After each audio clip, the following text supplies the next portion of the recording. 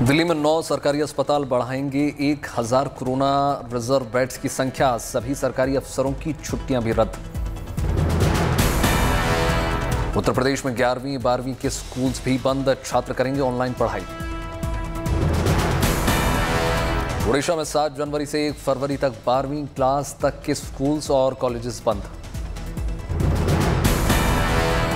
मध्य प्रदेश में जारी हुई कोरोना की दूसरी गाइडलाइंस मकर संक्रांति पर लगने वाले मेलों पर लगी पाबंदी। रायपुर में लगा नाइट कर्फ्यू रात 9 बजे से सुबह 6 बजे तक रहेगी पाबंदी। दिल्ली में कोरोना ने पकड़ी रफ्तार। दिल्ली में पिछले 24 घंटे में मिले दस कोरोना संक्रमित। दिल्ली में पॉजिटिविटी रेट 10 फ़ीसदी तक सत्येंद्र जैन ने कहा दिल्ली में पांचवी लहर।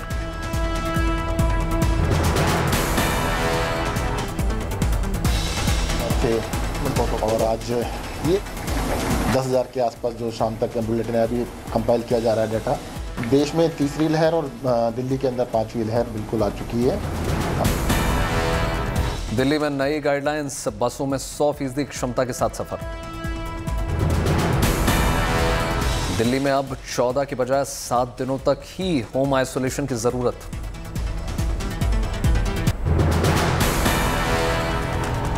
मुंबई में तीसरी लहर की शुरुआत कोरोना के 15,000 से ज़्यादा नए मरीज़। महाराष्ट्र के स्वास्थ्य मंत्री राजेश टोपे ने कहा कि नहीं लगाया जाएगा पूरा लॉकडाउन। महाराष्ट्र में 24 घंटे में कोरोना के 26,000 से ज़्यादा केस ओमिक्रोन के मामले भी छह हुए। मुंबई में अमिताभ बच्चन के घर का एक कर्मचारी कोरोना पॉजिटिव। बच्चों के वैक्सीनेशन का आंकड़ा देश में एक करोड़ के पार पहुँचा। बंगाल में हुआ कोरोना विस्फोट 24 घंटे में 9000 से ज़्यादा नए केस। कोलकाता के सीबीआई दफ्तर में कोरोना की दहशत 13 लोग पॉजिटिव। मुंबई में बस के अंदर कोरोना विस्फोट, ड्राइवर सहित 60 लोग कोरोना पॉजिटिव। गायक सोनू निगम और उनकी पत्नी भी कोरोना पॉजिटिव पाए गए हैं। बिहार में 1500 से ज़्यादा नए मामले, पटना में बिगड़े हालात।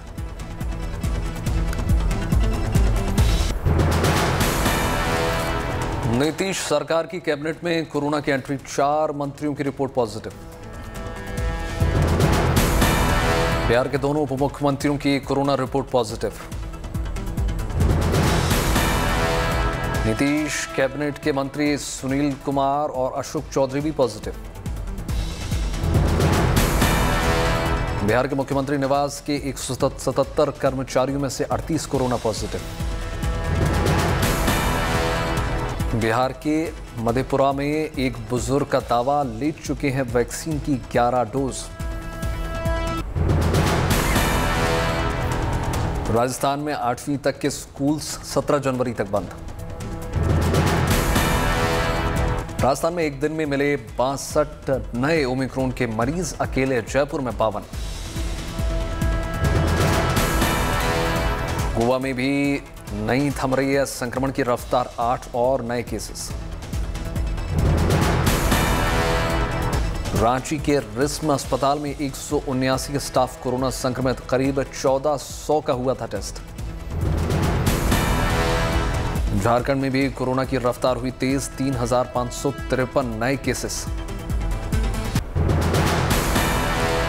शिवराज कैबिनेट के मंत्री गोविंद सिंह राजपूत कोरोना संक्रमित, घर में आइसोलेट। सागर में भी बढ़ रहे कोरोना केस पंद्रह लोगों की रिपोर्ट आई पॉजिटिव। सौरभ गांगुली की बेटी Sana Ganguly, corona positive.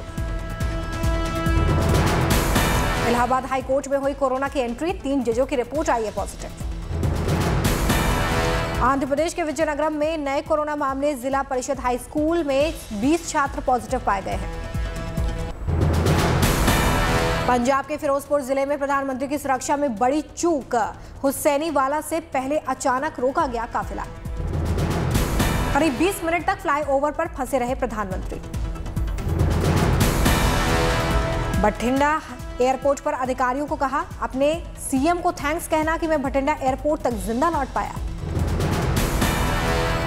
पहले हेलीकॉप्टर से हुसैनीवाला जाने वाले थे प्रधानमंत्री नरेंद्र मोदी। बारिश की वजह से सड़क मार्ग से जाने का लिया फैसला। प्रधानमंत्री की सुरक्षा में चूक पर सियासी बवाल, बीजेपी और कांग्रेस में आरोप प्रत्यारोप का दौर जारी। बीजेपी अध्यक्ष जेपी नड्डा का ट्वीट लिखा, हम ऐसी घटिया मानसिकता को पंजाब की तरक्की में रोड़ा नहीं बनने देंगे। पंजाब बीजेपी अध्यक्ष अश्विनी शर्मा का आरोप, घटना के पीछे चन्नी सरकार की साजिश। उत्तर प्रदेश के मुख्यमंत्री योगी आदित्यनाथ भी मुख्यमंत्री ने प्रधानमंत्री की सुरक्षा में चूक पर वो भड़क गए। मध्य प्रदेश के मुख्यमंत्री शिवराज सिंह चौहान ने साधा गांधी परिवार पर निशाना। पंजाब के पूर्व मुख्यमंत्री कैप्टन अमरिंदर सिंह ने मांगा चन्नी सरकार से इस्तीफा। बिहार के मंत्री शाहनवाज हुसैन ने भी प्रधानमंत्री की सुरक्षा में चूक पर उठाए सवाल। ये गिरी हुई हरकत किसी पार्टी ने देश के प्रधानमंत्री के साथ नहीं की होगी, जो आज कांग्रेस पार्टी ने की गोवा के मुख्यमंत्री प्रमोद सावंत भी घटना पर भड़के, कहा, जो कुछ हुआ, वो हैरान करने वाला प्रधानमंत्री की सुरक्षा में चूक पर कांग्रेस नेता दिग्विजय का बयान, कहा, भीड़ नहीं आई तो बहानेबाजी कर रहे हैं।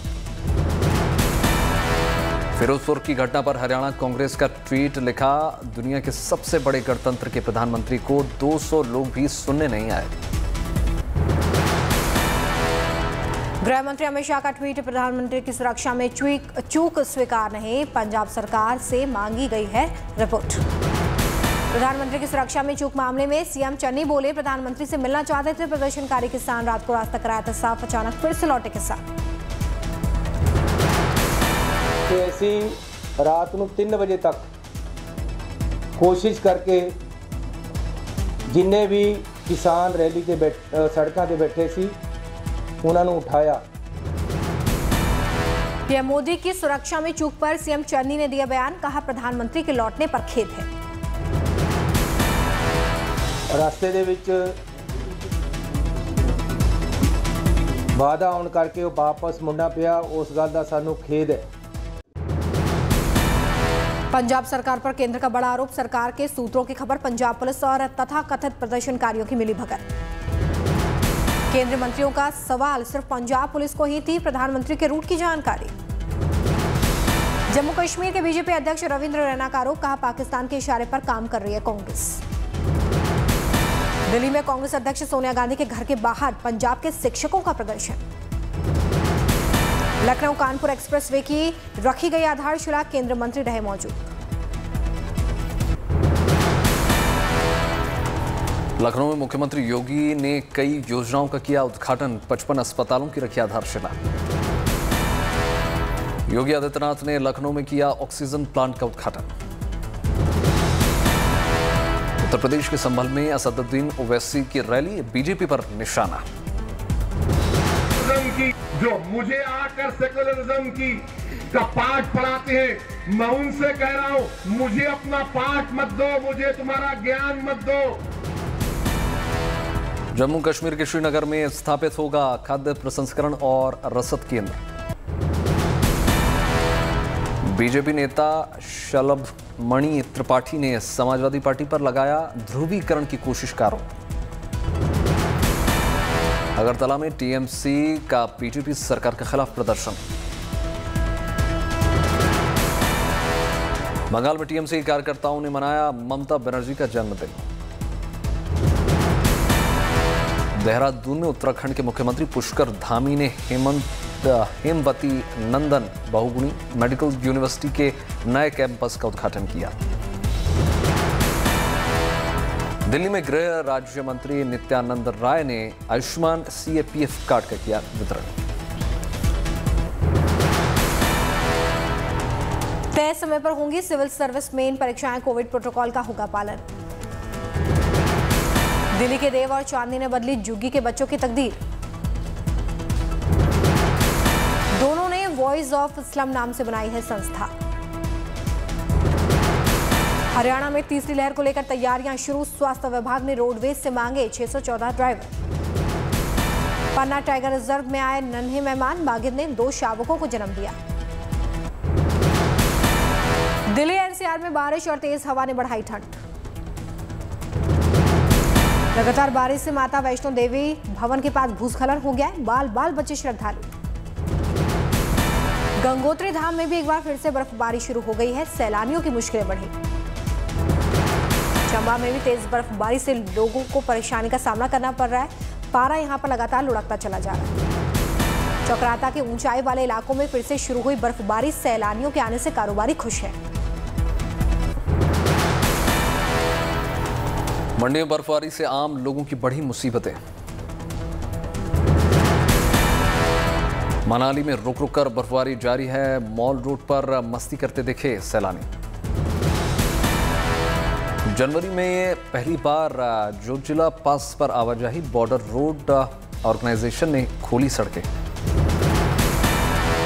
लद्दाख में भी भारी बर्फबारी, तापमान माइनस 21 डिग्री पहुँच गया। जम्मू कश्मीर के डोडा पुंछ में भी जोरदार बर्फबारी, रास्तों पर जमी बर्फ़। लोकल सर्कल के सर्वे में छियासठ फ़ीसदी लोगों ने डेस्क जॉब के लिए वर्क फ्रॉम होम को अनिवार्य करने की वकालत की। एसडीएफसी के अर्थशास्त्रियों के मुताबिक जनवरी, मार्च तिमाही में ओमिक्रोन के असर से घट सकती है विकास दर। अगले मॉनेटरी पॉलिसी में ब्याज दरों में बढ़ोतरी का फैसला टाल सकता है आरबीआई। वर्क फ्रॉम होम के लिए एचआरए में कटौती समेत बाकी प्रावधानों के साथ जल्द ही नई नीति जारी करेगी सरकार। कच्चे तेल की कीमतों में सात डॉलर प्रति बैरल से ज़्यादा की कमी के बावजूद तेल कंपनियों ने नहीं घटाए दाम। ब्रिटेन में पिछले 24 घंटे में दर्ज हुए दो लाख अठारह हज़ार से ज़्यादा मामले। अमेरिका में ओमिक्रोन के चलते शिकागो के मेयर ने स्कूलों को बंद रखने का फैसला किया है। कोरोना विस्फोट के बीच हांगकांग में क्रूज पर सवार हज़ारों यात्रियों की जाँच की गई। ऑस्ट्रेलिया के पीएम ने टेनिस स्टार जोकोविच को ऑस्ट्रेलियन ओपन में हिस्सा लेने से पहले वैक्सीनेशन स्टेटस देने के निर्देश दिए। चीन की टेलीकॉम कंपनी चाइना मोबाइल के शेयर शंघाई डेब्यू में चढ़े। रोमांचक मोड़ पर दक्षिण अफ्रीका के खिलाफ टेस्ट भारत ने दिया 240 रनों का टारगेट। तीसरे दिन का खेल खत्म होने तक दूसरी पारी में दक्षिण अफ्रीका का स्कोर दो विकेट पर 118 रन, जीत के लिए चाहिए 122 रन। भारत की दूसरी पारी दो सौ छियासठ रन पर सिमटी, पुजारा और रहाणे ने खेली अर्धशतकीय पारी। हनुमा विहारी 40 रन पर नाबाद रहे। पंत समेत भारत के तीन बल्लेबाज ज़ीरो पर आउट हुए। दक्षिण अफ्रीका के रबाडा एनगिडी और जॉनसेन ने झटके तीन तीन विकेट।